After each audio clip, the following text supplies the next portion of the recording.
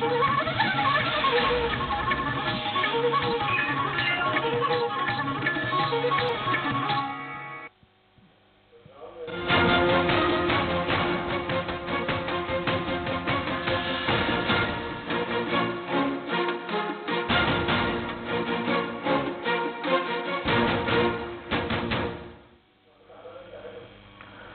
नमस्कार, मैं हूँ आपके साथ दीपक बुदोरे मेरे खास पेशकश में आपका स्वागत है। छत्तीसगढ़ में ज़मीन खरीदना तो आसान हो गया, लेकिन बने हुए मकानों की कीमत बढ़ गई है।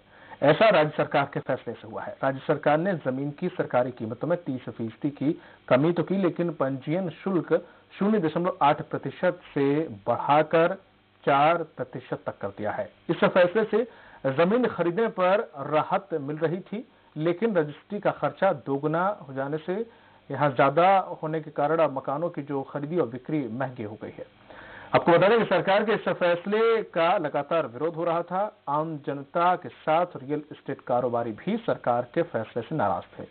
इस नाराज़गी को दूर करने के लिए राज्य सरकार ने पंजीयन शुल्क चार से दो फ़ीसदी कर दिया है, जिससे रजिस्ट्री का शुल्क कम हो गया है, जिससे मकान खरीदने वालों को इसको फ़ायदा मिलेगा। लेकिन सरकार के फैसले पर यूटर्न से कई सवाल भी खड़े हो रहे हैं। और विपक्ष भी सरकार से पूछ रहा है कि जब शुल्क कम ही करना था तो बड़ी हुई राशि को पूरा कम क्यों नहीं किया गया? क्या कुछ लोगों को फ़ायदा पहुँचाने के लिए ऐसा किया जा रहा है? सरकार ने अपना फैसला आखिर इस क्यों बदला? और इसके पीछे की मंशा क्या है? इसी मुद्दे पर चर्चा करेंगे खास पेशकश फैसले से किसका फ़ायदा?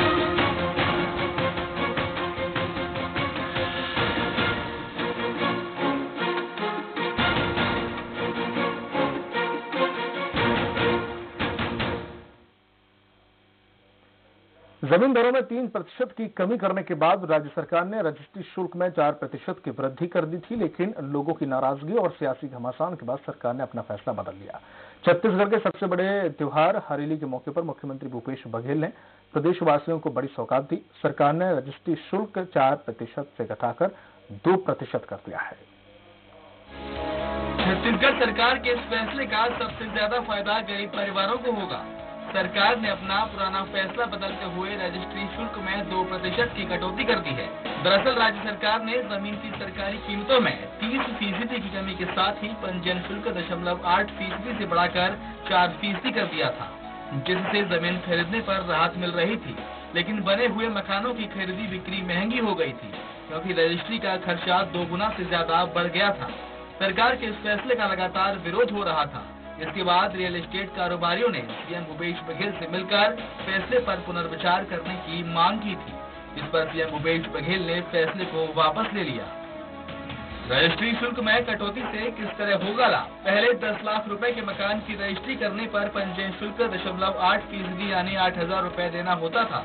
पंजीयन शुल्क चार फ़ीसदी करने के बाद यही रकम बढ़कर चालीस हज़ार रूपए हो गई। यानी दस लाख का मकान लेने के लिए बत्तीस हज़ार रूपए का बोझ बढ़ गया।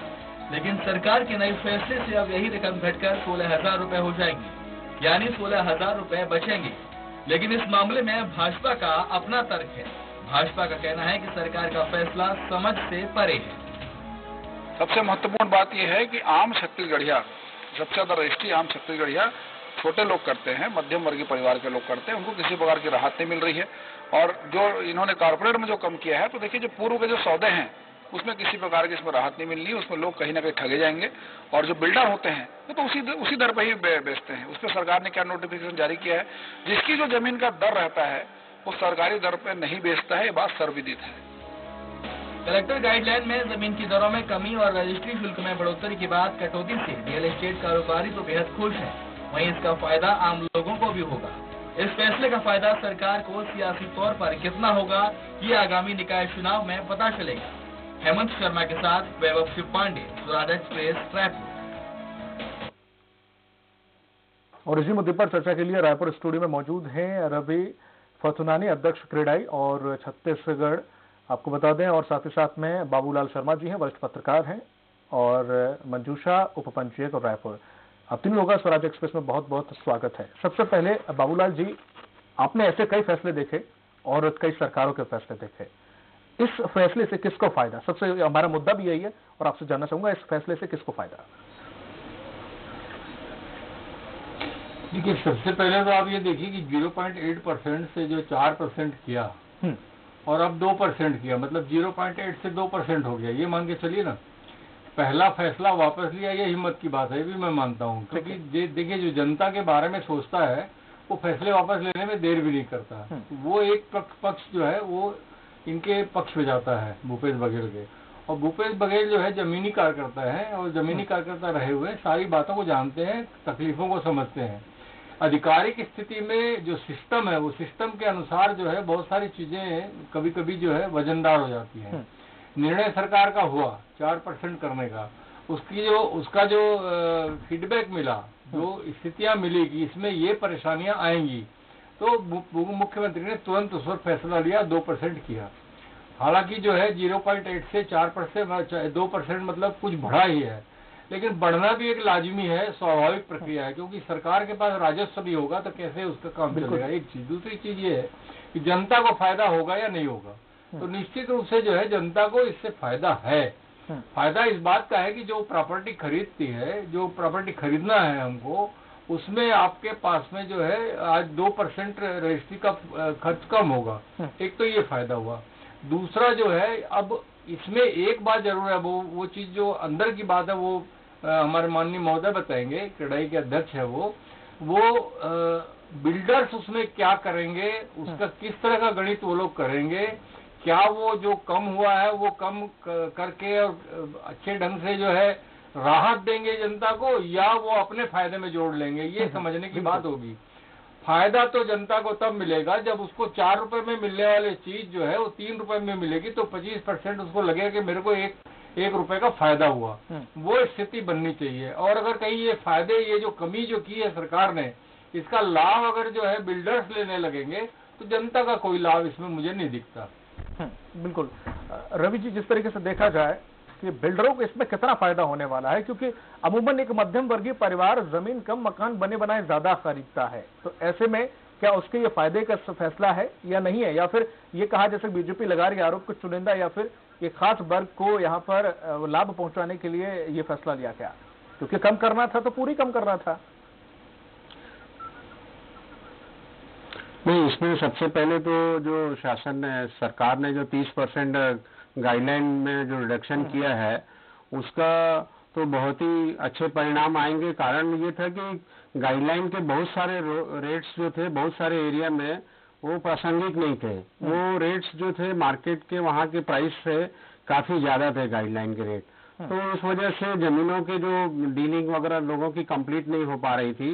सौदे नहीं हो पा रहे थे क्योंकि गाइडलाइन के रेट और एक्चुअल प्राइस में काफ़ी फ़र्क था। ठीक है। तो अब इस बिज़नेस में जो जमीनों जो काम रुका हुआ था इसमें तो डेफिनेटली बढ़ोतरी आएगी और ये सरकार के लिए भी और इंडिविजुअल बायर्स के लिए भी दोनों के लिए विन विन सिचुएशन है।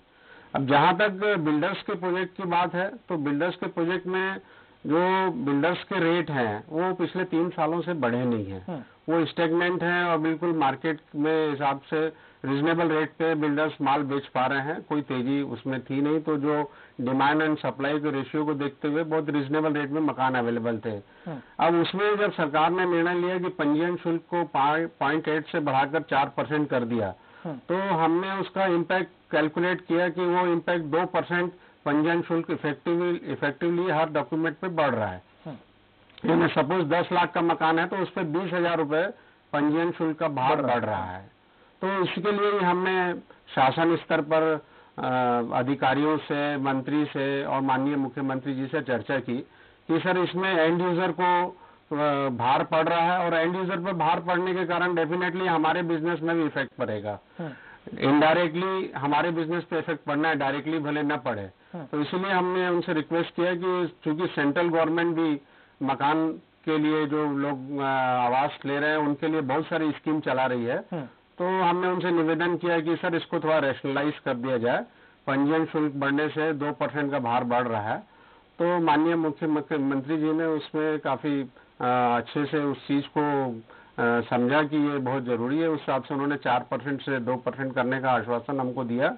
और हमारे हिसाब से वो भी काफ़ी अच्छा एक प्रपोजल है, क्योंकि इफेक्टिवली हम इसमें देख रहे हैं कि इसमें पॉइंट एट के बाद पॉइंट सिक्स परसेंट का बस बढ़ोतरी होगी और यानी एक लाख पे छह सौ रुपए खर्चा रजिस्ट्री का शुल्क बढ़ेगा।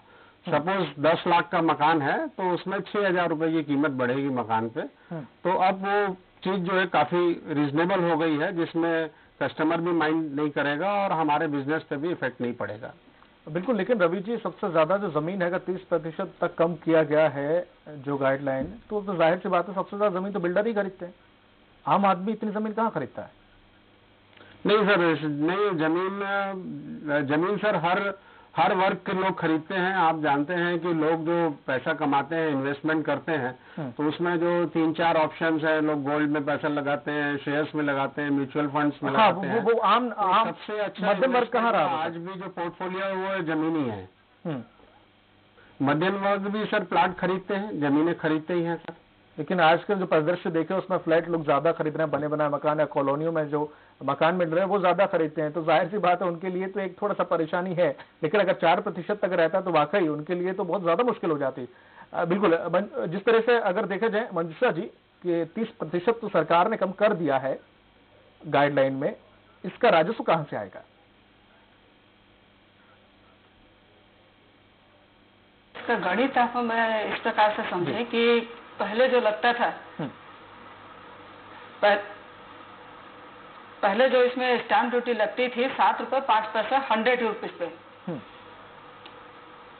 अब अभी जब थर्टी परसेंट डिस्काउंट किए तो उसके बाद ये लग रहा है सात रुपए अट्ठारह पैसा ठीक है तो अभी जो अभी जो दो परसेंट और कम करने की जो बात चली है पंजीयन शुल्क में हम्म।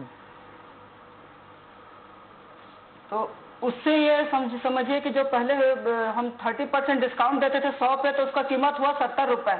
हम्म, सत्तर का चार परसेंट होता था दो रुपए अस्सी पैसे। हम्म। और अभी हो जाएगा वो एक रुपए चालीस पैसे। तो थोड़ा सा इसमें हम लोगों को राजस्व में थोड़ी सी कमी तो आएगी ज़रूर मगर आम जनता को इसमें राहत मिलेगी। और जो चार परसेंट वाला था उसमें अंतर बिल्कुल नहीं था। हम्म। लगभग बराबर था उसमें अंतर नहीं था। ठीक है? अगर अगर अगर चार प्रतिशत अगर बना रहता तो ये गणित कैसे बैठता? है नहीं नहीं वो तो लगभग बराबर से मत बताइए। पहले जो आपको seven point zero five percent लगता था हम्म, वो लगभग सात दशमलव अठारह परसेंट था। तो वो लगभग बराबर था। ना वो पब्लिक के ऊपर बोझ पड़ रहा था। पब्लिक के ऊपर बोझ नहीं पड़ रहा था वो। हाँ। तो जिस तरीके से देखा जाए रजिस्ट्री के सबसे वो ज़्यादा मामले बात जो बोल रहे हैं स्टाम्प पंचायत शुल्क जी। जी जी जी बोलिए बोलिए मंजू जी। जी जी। जी आप कुछ ज़िक्र कर रही थी मंजूषा जी? जी बताएँ। जिस तरीके से अगर बात करें कि जो पंजीयन के लिए आते हैं सबसे ज़्यादा जो कहीं ना कहीं घर के लिए ही मामले आते हैं तो जहाँ शून्य दशमलव आठ प्रतिशत जो था वो दो प्रतिशत कर दिया। तो एक एक देखा जाए कि जो मकान लेते हैं जो लोग जो आम आदमी है उसके ऊपर थोड़ा सा भार तो पड़ा है जैसे कि सर ने भी कहा था कोई दस लाख का लेता है तो छह हज़ार रुपए का अतिरिक्त भार तो पड़ेगा बस पर। क्या ये वो तीस प्रतिशत की कमी यहाँ से इस तरह से पूरी तो कम हो गया सर पहले जो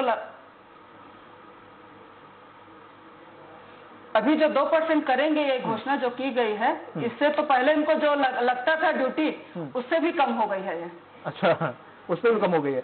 बाबूलाल जी जिस तरीके से देखा जाए कि जो गणित बिठाया गया है कि इधर ऐसे करके और ऐसे करके, जैसे कि मैडम ने बताया और उन्होंने भी गणित बड़ा स्पष्टली बताया कि अब जिससे आम आदमी है, बिल्डरों को चलो ठीक है, उनका व्यवसाय से जुड़ा हुआ है।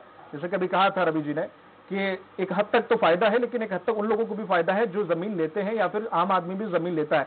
आम आदमी ज़मीन इतनी ज़्यादा लेता है या बने हुए मकान लेता है, मुद्दा ये भी है। तो ऐसा क्षेत्र जहाँ छत्तीसगढ़ में अभी भी लोग ऐसे हैं जो मकान बने बनाए लेते हैं या अभी जो कॉलोनी डेवलप हो रही है, उन्हीं की ओर ज़्यादा फोकस कर रहे हैं। तो ऐसे में उन लोगों के लिए थोड़ी सी परेशानी ज़रूर बढ़ गई है इस फैसले से। और इस फैसले की लेने की ज़रूरत क्या थी? क्या जो 30 प्रतिशत कम हुआ उसका राजस्व यहाँ से इस तरीके से रिकवर करने का आइडिया था या इसके पीछे की मंशा क्या थी सरकार की? मेरी समझ में जो आ रहा मैं आपको एक माध्यम से बताता हूँ जो मेरी समझ में आ रहा है। मान मान लीजिए मार्केट वैल्यू चार हज़ार रुपये है। ठीक है। मार्केट में बिक रहा है चार हज़ार रुपये में। और रजिस्ट्री के लिए जो है जो रेट था वो छह हज़ार रुपये था। हम्म। अब जो है तीस परसेंट कम किया है सरकार ने। हम्म। अब वो वो आप घटा लीजिए तो छह हज़ार रुपये जो रेट था हम्म, हम्म, रजिस्ट्री का वो हो गया बयालीस सौ रुपये तो लगभग तो वो वो जितने में खरीदा उतने में ही रजिस्ट्री वाली स्थिति पैदा हुई है। और होगी और कई जगह लेकिन इससे कम रेट में बिक, बिक रहा है ज़्यादा रजिस्ट्री चार्ज है वैसे ही इसका उल्टा भी है। कि कहीं ज़्यादा रेट में मिल रहा है और कम रेट में रजिस्ट्री होती थी हम्म। ये भी बातें होती थी और दूसरी चीज़ें ये है कि बहुत सारे सौदे जो होते हैं वो नंबर दो में बहुत सारे होते हैं अगर आपका दस लाख का सौदा होता है तो चार लाख रुपए देना होता है और छह लाख रुपए दूसरे ढंग से दिया जाता है हम्म। ये भी एक प्रसंग आता है हम्म। अब वो बिल्डर्स वाली बात जहाँ तक आप बोल रहे हैं बने बनाए मकान खरीदने में लोग इसलिए आगे आते हैं कि एक तो उनको तत्काल में चाहिए हम्म। दूसरी चीज़ ये अगर सही रेट में मिल रहा है तो ले लेते हैं। अगर बनवाना होता है तो उनके पास टाइम नहीं है। बनवाने के लिए खड़े होकर बनवाना पड़ता है। कहीं मिलावट न हो जाए कोई कमी न हो जाए बेसी न हो जाए उसका ध्यान रखने के लिए उनके पास आदमी होना चाहिए। अगर कोई नौकरी वाला व्यक्ति है तो उसके पास समय नहीं होता। वो ड्यूटी जाता है तो आकर के देख पाता है। इस बीच में क्या हुआ उसको समझ में कुछ आता नहीं। हम्म। इसलिए लोगों का ध्यान जो है वो खास करके नौकरी पेशा वालों का ध्यान जो है वो बना बनाया खरीदने में ज़्यादा है। अब इस बात का लाभ जो है वो बिल्डर उठाते हैं और कई बिल्डर्स ऐसे भी हैं जो बहुत अच्छा काम कर रहे हैं हम्म। इसमें मुझे दो राय नहीं है लेकिन अधिकांश जो मैं देख रहा हूँ वो अपने पैसे में लगा करके ज़मीन का पैसा थोड़ा बहुत लगा करके ज़मीन किसी से ले लेते हैं हम्म। और वहाँ पर बिल्डिंग बनवाने के लिए जो लोग हैं उन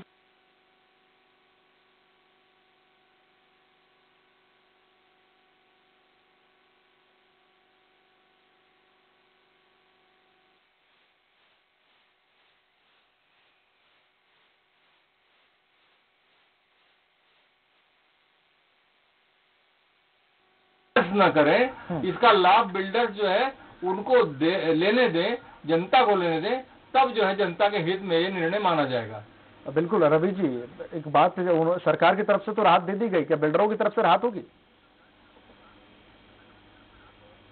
सर ये इसमें बिल्डर्स के डायरेक्टली कोई इन्वॉल्वमेंट नहीं था हम्म। जो खासकर मकान जब बेचने की बात आती है तो उस हम लोग जो पहले रिप्रेजेंटेशन कर रहे थे हमेशा गाइडलाइन रेट कम करने के लिए कि जब जमीनें खरीदने जाते थे तो वो जमीनें जो एक्चुअल भाव से गाइडलाइन रेट ज़्यादा थी हम्म। ज़्यादा थी उसके लिए हम रिप्रेजेंट कर रहे थे जिसके लिए गवर्नमेंट ने थर्टी परसेंट रिड्यूस किया हम्म। बाकी जो हमारे मकान हम बना के बेच रहे हैं वो ऑलरेडी हम लोग बिल्कुल बहुत ही रीजनेबल प्राइस में बहुत रीजनेबल मार्जिन में बेच रहे हैं मार्जिन में बेच रहे हैं तो उसमें हम लोगों की तरफ़ से और जो डिस्काउंट अगर कस्टमर जो बिल्डर्स हैं अपने कस्टमर्स को इंडिविजुअल लेवल पे जो डिस्काउंट देते हैं वो देंगे। हम्म, लेकिन देंगे ही। हाँ। लेकिन आने वाले समय में जो नए लेआउट आएँगे जो कम रेट की जी जी जी जी रवि जी। जो नहीं कम रेट में जो लोगों ने ज़मीन खरीदी होगी जिसमें गाइडलाइन का इम्पैक्ट कम हो गया होगा तो वो नए प्रोजेक्ट्स में ज़रूर उसका असर देखने को मिलेगा। बिल्कुल, इस फैसले से क्रेडाई काफ़ी खुश था और मुख्यमंत्री को धन्यवाद करने के लिए भी पहुँचा था। लेकिन जिस तरीके से मंजुषा जी, ये बिल्कुल ठीक है, जनता के हित में ये है, जैसे कि आपने भी बोला और लगभग लगभग सभी लोग बोल रहे हैं। लेकिन जिस तरीके से देखा जाए, सरकार के हित में भी है। क्योंकि अगर कल को सरकार को किसी बड़े प्रोजेक्ट, हाईवे हुआ या किसी बड़े प्रोजेक्ट पर काम करना हो तो ज़ाहिर है कि सरकारी ज़मीन से ही वो पैसा दिया जाएगा। तो यहाँ पर एक तरीके से देखा जाए कि सरकार अगर बड़ा कोई अपना लेके आई है प्लान चाहे वो मेट्रो से संबंधित हो बड़े हाईवेज हो या कुछ भी हो तो वो सरकारी पे ही तो ज़ाहिर है कि एक सरकार को भी लाभ इसमें है। या भविष्य को देखते हुए इस गाइडलाइन को कम किया गया। क्वेश्चन रिपीट करेंगे सर आवाज़ नहीं आ रही। जी मंजूषा जी जिस तरीके से सरकारी ज़मीन है उसकी जो गाइडलाइन कम की गई तीन तीस प्रतिशत तो कल को अगर सरकार कोई मेगा प्रोजेक्ट शुरू करती है कोई फोर लेन हाईवे बनाती है या कोई मेट्रो प्रोजेक्ट शुरू करती है तो ज़ाहिर है कि सरकार को भी इसमें अच्छा खासा फ़ायदा होगा। तो ये दूरगामी सोच का ही नतीजा है ये फैसला? फ़ायदा होगा सर यदि जी जी। जी। फ़ायदा यदि पब्लिक को होगी तो सरकार को भी होगा सर योजना तो सभी के लिए है। जी तो ये भविष्य की मंशा को देखते हुए ये फैसला लिया गया। वैसे ये वैसे वैसे ये नहीं नहीं नहीं नहीं उसको इस दृष्टिकोण से नहीं देखना चाहिए सर। ठीक है। ये तो पब्लिक के मांग पर की गई थी कि थर्टी परसेंट आउटर में बहुत रेट बढ़ गया है। लोग चाहते थे कि रेट कम किया जाए। जी। तो जो पिछली सरकार की जो गाइडलाइन रेट कम किया नहीं जाए इसके लिए उसको थर्टी परसेंट डिस्काउंट किया गया। जी। मंजूषा जी जो पिछली सरकार की गाइडलाइंस थी वो ठीक नहीं थी जी जी। जी। जो अब गाइडलाइंस में तीन प्रतिशत की कमी गई है की गई है तीस प्रतिशत जो पहले थी गाइडलाइन पूर्व सरकार की वो ठीक नहीं थी आने के। जी। वो जनता के में नहीं थी। क्वेश्चन नहीं आ रहा है सर। चलिए कोई बात नहीं मनसा जी। बाबूलाल जी जिस तरीके से देखा जाए तो मेरा एक क्वेश्चन था अ, कि जिस तरीके से ये सोच समझ के क्योंकि ज़ाहिर है कि कोई भी सरकार प्लान तैयार करती है उसके पीछे भी कई गणतज्ञ दिमाग भी जुड़े होते हैं। तो ज़ाहिर है कि कल को अगर कोई मेगा प्रोजेक्ट सरकार शुरू करने वाली है या ऐसी कुछ मंशा है तो ज़ाहिर है अभी गोठानों का काम चल ही रहा है जिस तरीके से और भी बहुत सारी योजनाएँ जो पेंडिंग में है वो धरातल पर उतारी जाएँगी तो सरकार जिस तरीके से तीस प्रतिशत कम करने का एक खुद का भी राजस्व इस तरीके से बढ़ाएगी क्या क्योंकि सरकारी ज़मीन पे दाम दिए जाएँगे जनता को मैं मैं ये, ये ज़रूर कह तक कह सकता हूँ कि हर सरकार। चाहे वो भारतीय जनता पार्टी की सरकार हो चाहे कांग्रेस की सरकार हो चाहे और कोई सरकार आ जाए। हम्म, हर सरकार के संबंध बनते हैं और उनको हर आदमी की ज़रूरत पड़ती है। बिल्डर्स की भी सरकार को ज़रूरत होती है। क्या क्या ज़रूरत होती है ये मैं कहना नहीं चाहता। और भी बहुत सारे लोगों की ज़रूरत पड़ती है। क्यों ज़रूरत पड़ती है ये मैं नहीं कहना चाहता। हम्म, तो बिल्डर्स एक बहुत बड़ा साधन है। आपको ध्यान होगा रेरा बनाने की ज़रूरत क्यों पड़ी? आप मुझे ये बताइए। बिल्कुल। रेरा इसलिए बनाने की ज़रूरत पड़ी कि कुछ ऐसी घटनाएँ सामने आई थी जिसमें लोग लुट पिट गए थे बुरी तरीके से। हम्म, हम्म, और जो वो विज्ञापित किए जाते थे जो विज्ञापन आता था जो सपने दिखाए जाते थे हर आदमी का एक सपना होता है मेरा अपना घर हो। हम्म, और जिस तरीके का सपना वो चाहता था वैसा सपना दिखाया जाता था बिल्डरों के द्वारा। और जब वो पैसा लगाता था आदमी तो उसकी क्या गति होती थी ये कई कई प्रकरण से साबित हुआ है। हम्म, लेकिन सबके लिए नहीं मैं बोलता। कुछ बिल्डर्स अच्छा भी काम कर रहे हैं। हम्म, अब साहब उसके बाद नई नई बातें सामने आती है। गार्डन बनाने की बात कही जाती है नहीं बनता है। हम्म। बहुत सारी जिम की बनाने की बात आती है नहीं बनता। बहुत सारी और चीज़ें बताते थे नहीं बनता है। और आप उनका कुछ नहीं कर सकते थे। ऐसी स्थिति थी। तो ये रेरा रेरा रजिस्ट्रेशन का मामला आया रेरा का गठन हुआ। ठीक है। आज भी जो है स्थिति तो वही हुई ना इंस्पेक्टर इंस्पेक्टर राज वाला मसला है। हम्म, अगर आपकी पहचान सरकार तक है आपकी पहचान रेरा तक है तो आप बहुत कुछ कर सकेंगे। हम्म, और अगर आप नहीं है आपकी पहचान तो आपको बंधन में रहना पड़ेगा। आज इतना ज़रूर है कि थोड़ा नियंत्रण आया है। लेकिन जो जो जो लोग अच्छा काम कर रहे हैं वो तो शुरू से अच्छा काम कर रहे हैं। हम्म, जो गलत काम कर रहे थे उनमें थोड़ा नियंत्रण आया और आज हमारे पास में एक अधिकार एक उपभोक्ता के पास आया है हम्म। कि अगर कहीं विज्ञापित जो साधन दिए जाते हैं जो सुविधाएँ दी जाने की बात की जाती है वो अगर ना मिले तो हम जो है अपनी बात को रख सकते हैं कहीं पे। तो ये परेशानियाँ जो है दूर हुई है। जहाँ तक सवाल है सरकार का मैं बार बार उसी बात को कह रहा हूँ कोई भी सरकार जनहित में ही काम करती है। लेकिन उसके पीछे कुछ स्वहित भी होता है और कुछ जो है वो कारण भी होते हैं। जिसमें ज़रूरत पड़ती है ऐसे बिल्डरों की ऐसे और लोगों की ठेकेदारों की बहुत सारे लोगों की ज़रूरत पड़ती है। मैं ज़्यादा खुलकर बोलना नहीं चाहता लेकिन। लोग सब समझते हैं। इसलिए जो है बहुत सारे दर तय होते हैं वो किस तरीके से होते हैं वो सोचने का विषय है। और ये जो निर्णय भूपेश बघेल ने किया है निश्चित रूप से इनकी सोच यही रही होगी कि दो परसेंट की छूट मैं जनता को दे रहा हूँ और जनता तक पहुँचे ये देखना उनका काम है और निश्चित रूप से इसकी मॉनिटरिंग होनी चाहिए कि क्या फ़ायदा जनता को मिला। बिल्कुल ये तो ये फैसला अब आने वाले समय में बताएगा कि आखिर यहाँ पर आम जनता को लाभ मिला है या मिल रहा है या बीच में अवरोधक ये बिल्डर उन्हें उसी रेट पर ही थमा रहे हैं। ये देखने वाली बात होगी। चलिए, रवि जी और बाबूलाल जी और मंजूषा जी, आप तीनों लोगों का बहुत बहुत शुक्रिया हमसे जुड़ने के लिए। और बाजी से खास स्पेशल मसला इतना ही दीजिए इजाज़त। नमस्कार।